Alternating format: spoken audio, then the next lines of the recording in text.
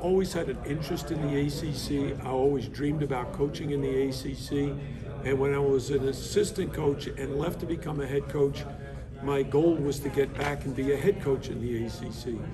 So I don't follow the other conferences nearly as close, and I love the idea that, that I've been able to uh, be in the ACC, competing as an ACC head coach for, for 10 years and now working on number 11. Uh, but whoever replaces uh, the coaches that you mentioned, Jim Boeheim and Leonard Hamilton and myself, they, they're going to be terrific coaches. They're going to be able to sustain or, or build upon what we did, just like I think Jon Scheyer and Hubert Davis will.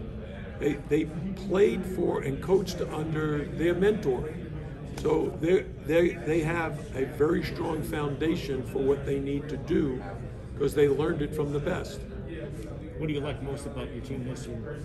What I like most about my team? Well, right now they're healthy. You know, we have uh, 12 scholarship players and two walk-ons, and they're all 14 scrimmage the other day. When's the last time you could say that? Well, honestly, it wasn't the scrimmage before. We had four guys out that week.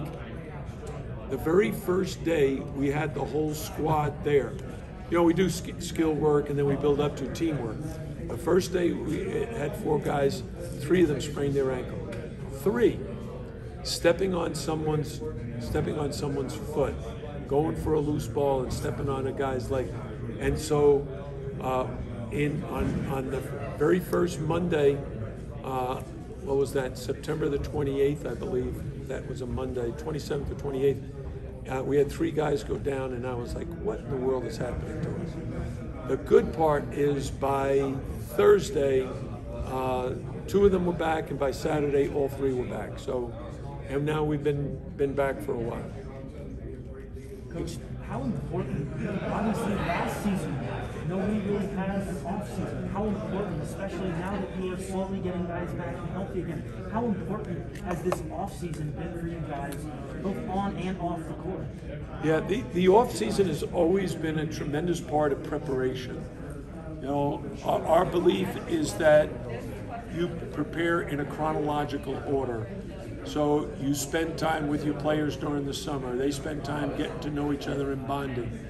You spend time working on skills. Then you spend time uh, implementing your offenses and your defenses.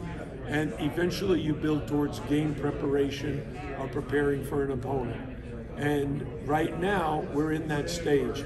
We've put in our offense, we've put in our defenses, and now we're getting ready to play opponents if we can keep that up and stay healthy, uh, I'll be excited about the start of the season in November. One of the teams you've really battled with over the past couple seasons is Virginia Tech. I think you guys have fairly split the series, and it's pretty much two games have been in overtime. What do you like? What what intrigues you about what Mike Young is building? Oh, I think Mike Young has done a fantastic job. One of one of the things that Mike did is he brought some kids from Wofford that have really fit in well in the ACC. They're talented, they're skillful, and they know Mike and his his approach, so they fit in very very well and make the adjustment very very quickly. I, I also think they've they've done a great job of of building internally. Uh, they uh, have great fan support, and our games with them last year were fantastic games, but no fans were there to, to watch it in person.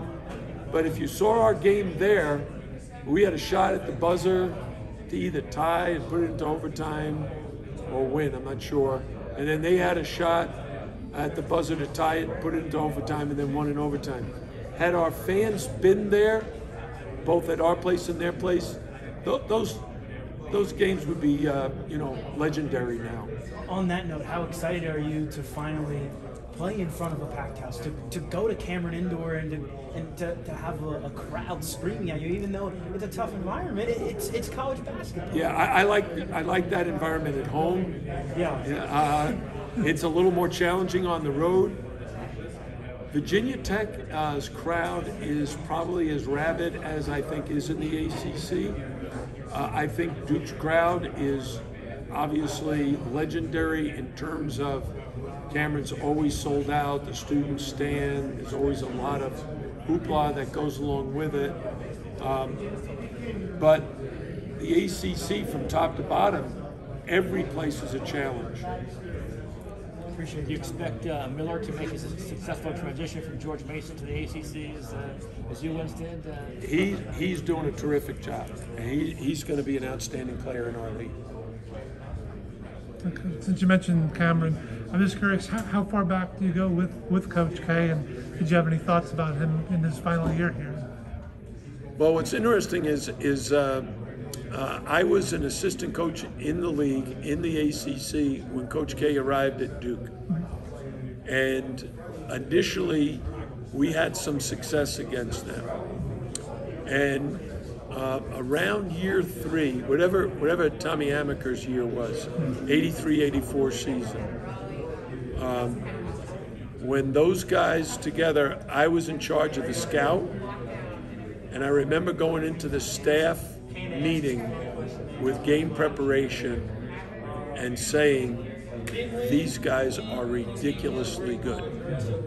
Coach K now has a great point guard running the show, a great scorer in Johnny Dawkins, two great wing players in uh, Henderson and Alarie that can really shoot, and a tough, hard nosed big guy in Jay Bilas.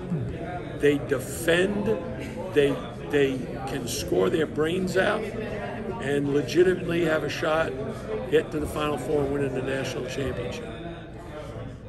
How important is it for you and what you do to have had an off season, obviously opposed to last year and all that type of stuff? How, how, how big has this off season been? Well, the, the biggest thing is when you have so many new players. Half our, our roster is brand new.